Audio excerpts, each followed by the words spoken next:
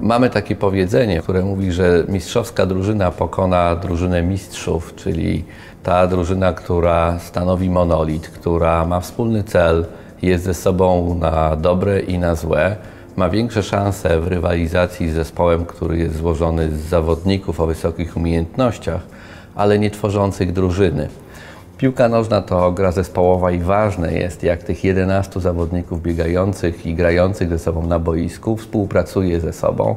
ale też ważne jest, jak stanowią silną drużynę, jak stanowią dobry zespół poza boiskiem, bo pamiętajmy, że mistrzostwa,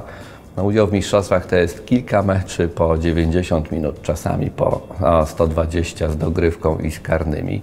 ale to jest kilka tygodni przebywania ze sobą non-stop na treningach, na posiłkach, w drodze na mecze, w drodze na treningi. I to jest bardzo dużo czasu spędzanego ze sobą przez tych zawodników i bardzo ważne jest, żeby też tworzyli zespół w tych sytuacjach pozaboiskowych, bo wtedy w czasie meczu mogą się odwołać do tego, co robili poza boiskiem, że poza boiskiem tworzą monolit i w takim razie na boisku też mogą tworzyć taki monolit. I rolą trenerów jest tworzenie właśnie takiej mistrzowskiej drużyny, która ma wspólny cel i która jest ze sobą na dobre i na złe.